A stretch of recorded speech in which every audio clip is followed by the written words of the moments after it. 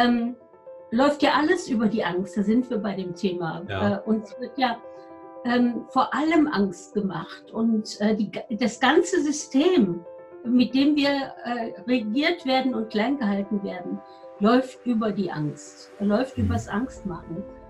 Und wenn wir dann plötzlich entdecken, dass Menschen leben können ohne all das, was uns täglich ähm, erzählt wird, ähm, das wäre für die, die uns im Griff haben, eine Katastrophe. Passiert das, dass wir äh, völlig irrationale Ängste bekommen, Ängste vor allem, ähm, was uns begegnet, Ängste vor allem, was wir nicht kennen. Mhm. Ja, wir haben ja, wir haben ja Angst vor der Natur. Mhm. Äh, man hat uns ja so weit davon weggebracht, dass wir vor allem in der Natur Angst haben. Da gibt es Viren, die uns angeblich krank machen. Da gibt Ja. es Tiere, die, die gegen uns sind, als ob Gott uns in eine, in, auf einen Planeten gesetzt hätte, wo alles drauf aus ist, uns zu zerstören. Das ist Irrsinn, nicht mehr? Man baut sogenannte Angstelementale auf.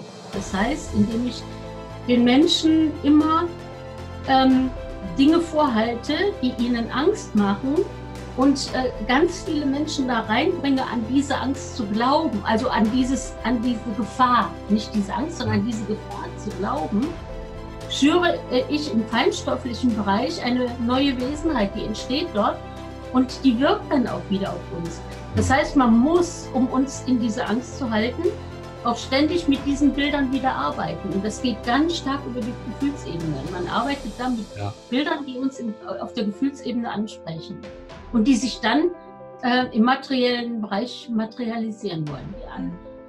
Wenn ich mir nur dunkle Dinge anschaue, klar, dann fühle ich im Dunkeln und dann äh, begegnet mir auch nur das Dunkel. Ich, äh, Angst, Angst stellt ja im, im Menschen vieles an. Wenn ich Angst habe, ich, habe ich, hab ich gar nicht äh, die Möglichkeit, eigene und äh, kreative Gedanken zu haben. Das heißt, ich komme überhaupt nicht mehr in die Schöpferkraft.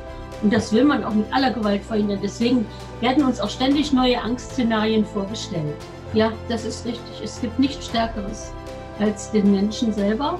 Und äh, von allen Spezies in diesem Universum äh, sind wir äh, die mental stärkste.